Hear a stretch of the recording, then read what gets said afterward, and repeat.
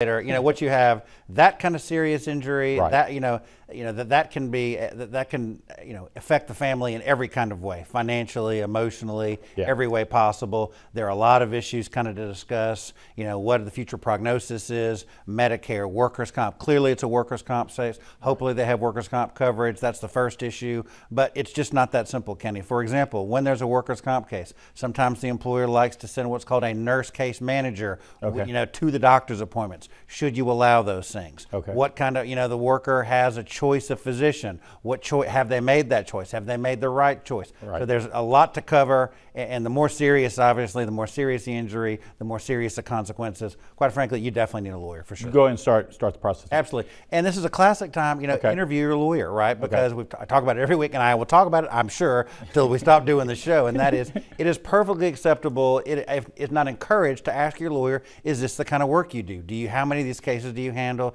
Do you handle it regularly? Because you want to make sure you're with the right person, and, and it's just critical. Gotcha. Yep. Gotcha. And then Matt, I, I was listening. i- eh, i- eh, The question, and and this is Tony asking for a friend of the family. Yep. If they do need to make that first phone call to you, Yeah. does it have to be a direct family member, or does it, or does can it be a, a friend of the family calling on behalf uh, of a friend, or does it need to be an actual legal connection? Well, you know, uh, you know, I would prefer Ideally. ideally you'd want a family member, right? Uh, You know, the wife, uh, you know, or brother, sister, mother, father. You know, because you've got to get into you know important, critical, confidential facts, Kenny, right away. And so, you know, when you go through an intermediary, when you go through a third party, you know, usually some things get lost in translation. I'm sure the lawyer's going to have follow up questions and want specifics, and the friend may not know, right? And so you want to get the best information you can as soon as you can. So always best with a family member if the you know if the person injured is not available to do it. Gotcha, gotcha.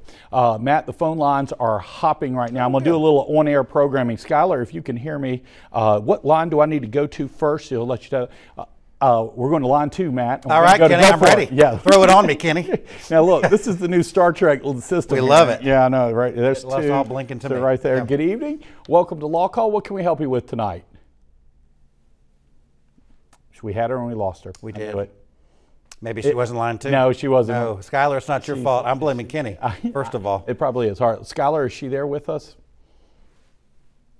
Okay, she was not exactly there. Matt, but we did get her notes on this one. All right. Uh, she was trying to buy a home uh, during the home process. Paperwork got messed up between her and attorney and the people she's buying the home from. As it turns out, the documents some do do do got kind of switched up, and looks like she brought the wrong piece of property. Uh, yes, so uh, a little tricky wicket on that one. What would you uh, get a new attorney? Start over? Who do you? Where do you start on this one? Well, yeah, my hope is that everyone is reasonable, and my hope is Yes. that everyone recognizes this was some type of mistake, and it's those things can be fixable. The question is, how easy is it fixable? Right, So, uh, right. you know, obviously, uh, you know, I, would like to know more details Yeah, and hear about that, but you know. You know, these things happen, not every day, obviously. And um, the good news is she caught it now, hopefully early on in the process. so, you know, immediately call the lawyer. Uh, it kind of, that's where I would start. Okay, Uh, and her lawyer. her lawyer, right? And I wouldn't kind of come in, you know, throwing haymakers. I would just say, hey, what happened, happened here? here? you know, how do we fix it? Uh, what happened and how do we fix it? And please fix it right now. Yeah. And that's what I would. That's what I would start with. Kinda and let the lawyer do their work. And uh, I fully anticipate that that could be turned around rather quickly. We had, and I, this is not maybe apples to apples. We had a piece of property that we were buying from the county. This is a couple of years ago, and when we had it surveyed out, there was three original pieces of property. When we came together for the get them all to one piece Yeah. of property for the final sell on it, Right. we realized there was a survey mistake and not all the lines lined up. And you got to have them lined up. It was it was a little bit you know troubling at first, but once like you were saying, once reasonable people started talking about it and everybody was dealing, everything was above the table. It all worked out just fine. Absolutely. Let me just say, you know, it, it, it, happens, okay? Let me Right. just say, especially when you are when you are, you know, taking land and you are perhaps subdividing it, you know, pulling into smaller pieces or larger pieces, combining pieces, Absolutely. taking things away because you have to survey, there has to be meet and bounds, you've got to re-describe it. so right. in those circumstances, you know, it, it happens, you know, I wouldn't say frequently, but it's not uncommon at all. But once again, very fixable, handleable. Glad she caught it early. Start with your lawyer, you know, that she started with. They should be able to get turned around pretty quick. Okay. And if you can call us back, we'd love to talk to you still. All right, that takes us to our first break of the evening. When we call come back, we've got Jim Reeves with tonight's legal brief, plus tons of phone calls lining up here on the phone calls. When we come back on Law Call for Ask Us Anything.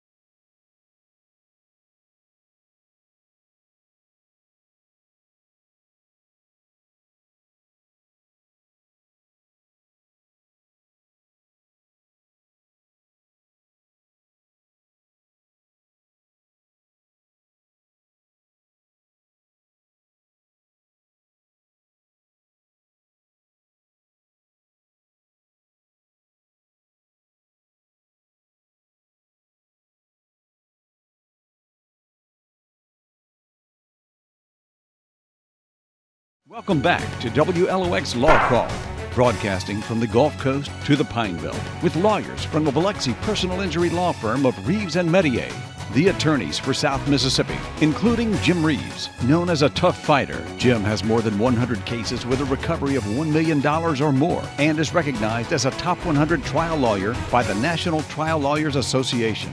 Plus, Matthew Mestayer. Matthew served as an award winning judge for nearly 20 years has recovered millions for his clients, and is deeply involved in community issues on the entire coast. And hosted by broadcaster Ken Flanagan. The show has included over 200 guest attorneys from across Mississippi. This is WLOX Law Call.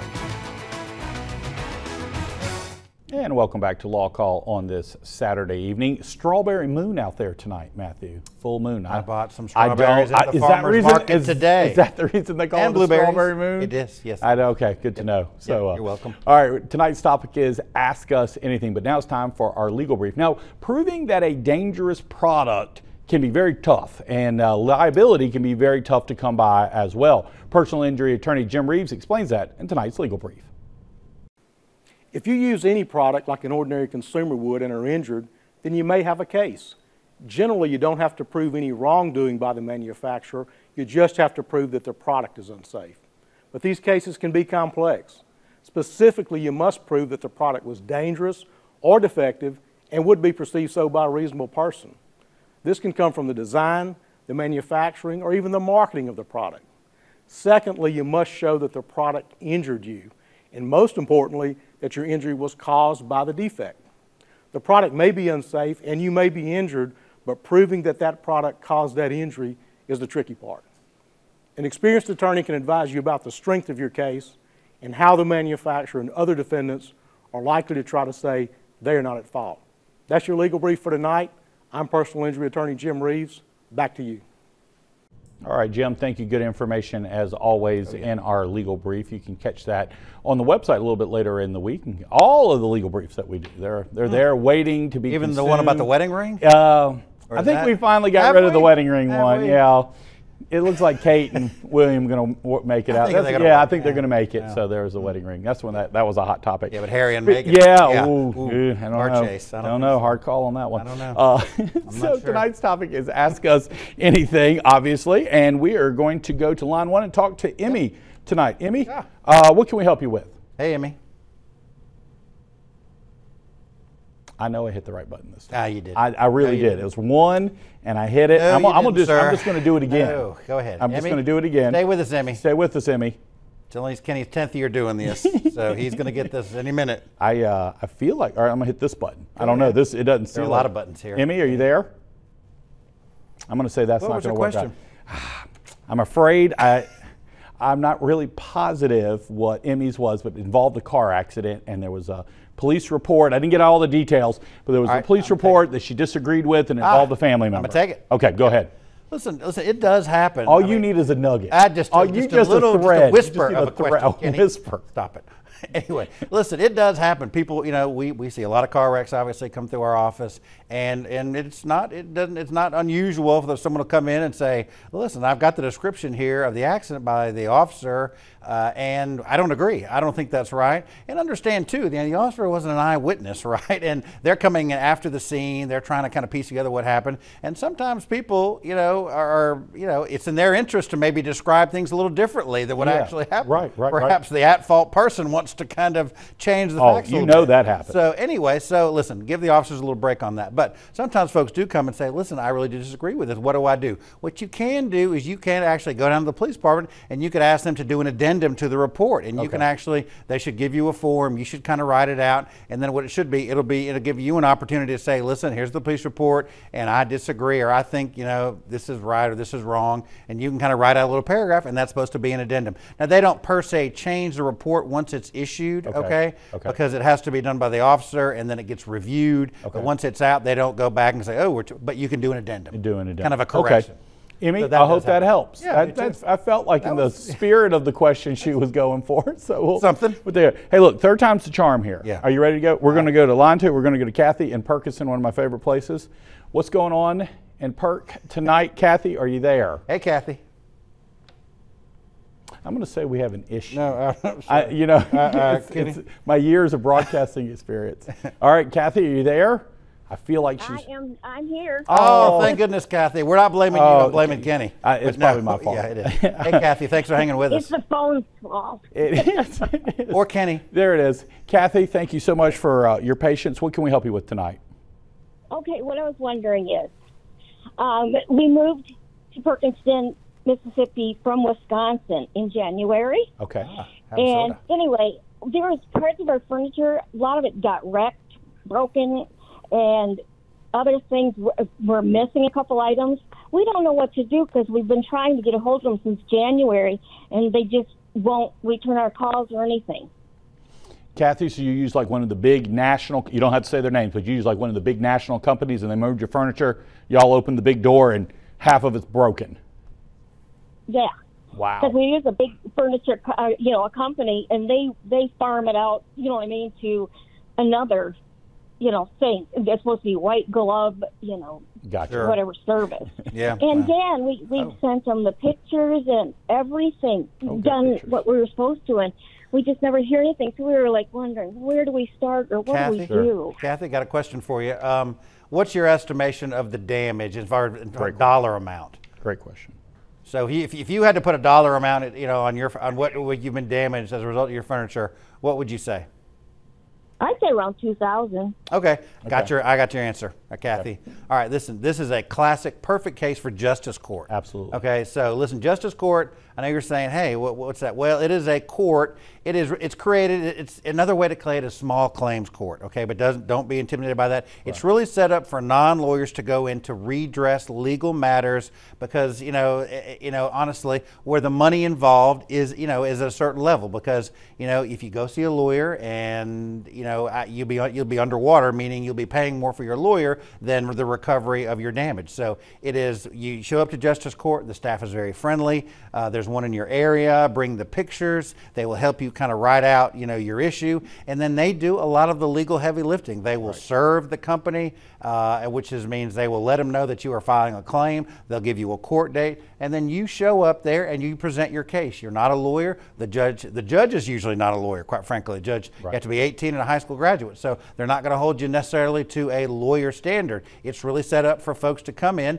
and you know have a redress, and a judge will issue a you know an opinion. So if you have photographs and proof, I think you're going to come out great. And the nice thing is, at that kind of level, if you think it's about 2,000 damage, that's within the jurisdictional limits of that court. That court has the authority to issue an award for you for that amount of money. And and I, and it's it's a very effective way, really, to really get is. companies to kind of pay attention when sometimes they wouldn't, because that they, you know no company, I don't care how big, they don't like getting paper from justice court. I mean, they're going to show up because you know that they they're going to they're going to send someone, they're going to show up, they're going to call you. So it's a great way to really redress your problem. Justice court all the way. We have talked about justice court. It's just it is a great court. It's Oh, the it is. people's court. And uh, Really? and Kathy, let me tell you, it's going to be in downtown Wiggins. You're going to go to the Stone County Courthouse. You're going to go up the hill. It's either it's it's either going to be in the courthouse itself, or it's going to be that uh, admin Right. building that's right behind the courthouse, where I think the sheriff's department is. They'll take great care of you there over there too. Now, Matt, if she comes back, she I can I can feel her on the phone right now. Well, maybe I shorted myself there. It goes up to quite a bit more than two thousand dollars. It certainly does. Yeah, you've got more than more than enough room. Even if you doubled those numbers, Kathy, you'd be okay. So, as I say, and they help with collections. There, there's a little bit of a filing fee, so bring your checkbook with you. But bring all your paperwork. Bring the contract that you signed with the moving company. That's right. Bring your pictures. And I'm telling you, I, I think you're going to be. It's a great service. It's very helpful. I think you're going to be happy with the result. Okay, very good. Downtown Wiggins, the big right. wig is all you need. They'll get you taken care It's a long way there. from Wisconsin to Perk. It is me quite a bit. ya. And Kathy, we're I- happy I, to want to know you. more about that move, I but we don't have time for that. Kathy, we could talk to you about where to go eat in Stone County. There's a lot of great places over there. Come to George County too. We'd love to have you. All right, uh, Kathy, thank you so much for the call tonight. That takes us into our final break of the evening. When we come back, we try to get one more email question in, and definitely more of your calls Maybe and questions, and maybe a phone call Who here on Law Call.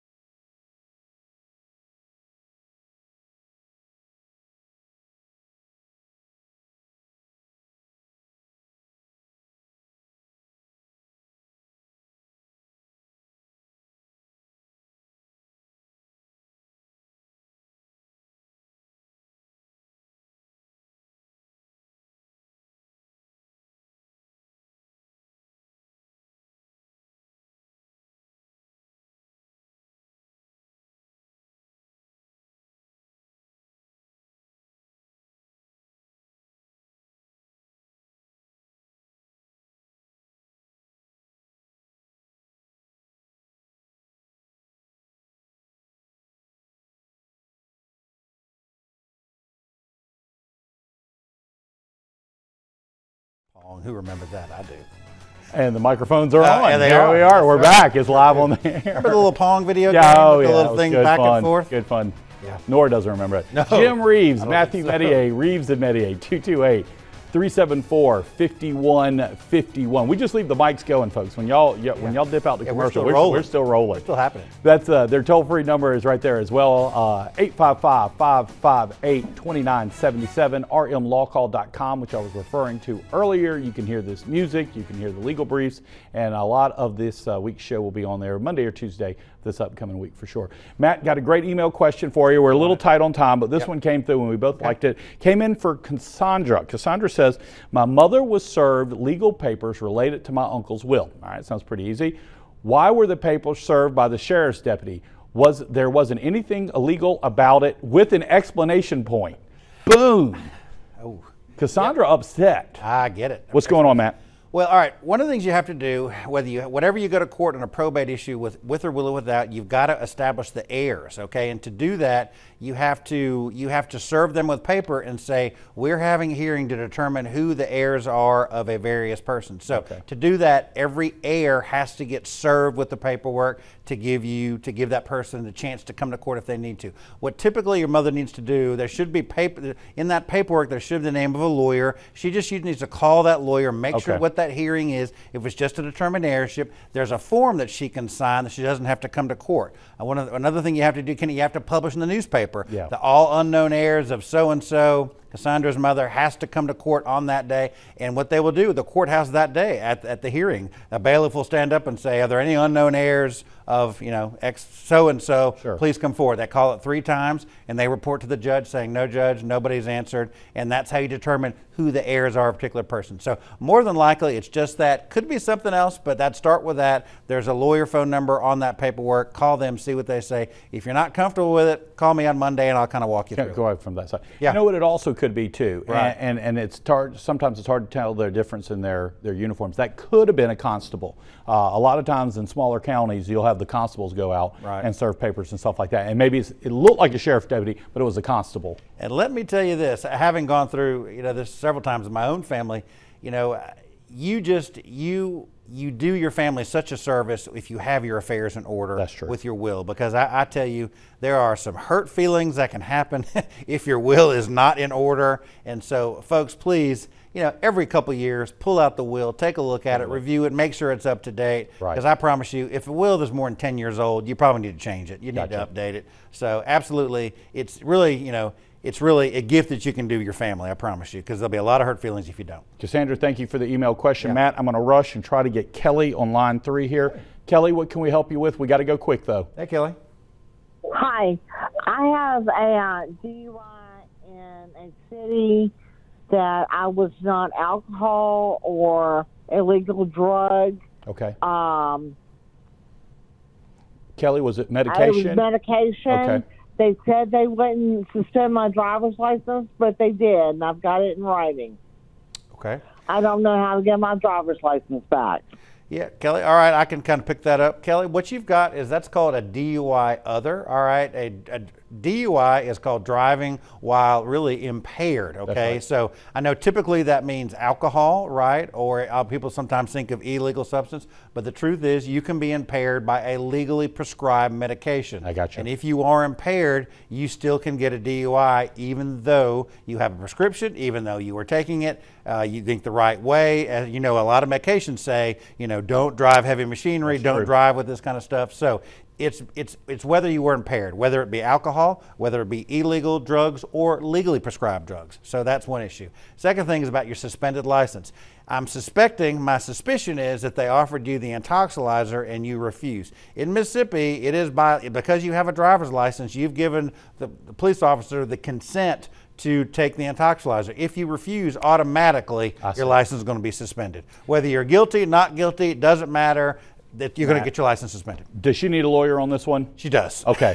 She- yes, she does. Kelly, you need a lawyer on this one. Yeah, absolutely. So it's, it's one of those things. It sounds probably a little too complicated to handle on your own. Yep. uh, especially with the medical. Right. uh, and listen, you can get a waiver for your suspended license. There's things you can do with DUIs you couldn't do five years ago, but absolutely talk to a lawyer. Plenty of them around. Happy to talk to you. Okay, very good. Kelly, thank you so much for Thank the call for hanging in tonight. there. Yep, thanks for hanging in for the show. All right, that takes care of all of our time for tonight's show. It went by once once this thing started working, we were we were rolling on that one. We'll be back next Saturday night with Jim Reeves talking about personal injury. But until then, my friends, Good night.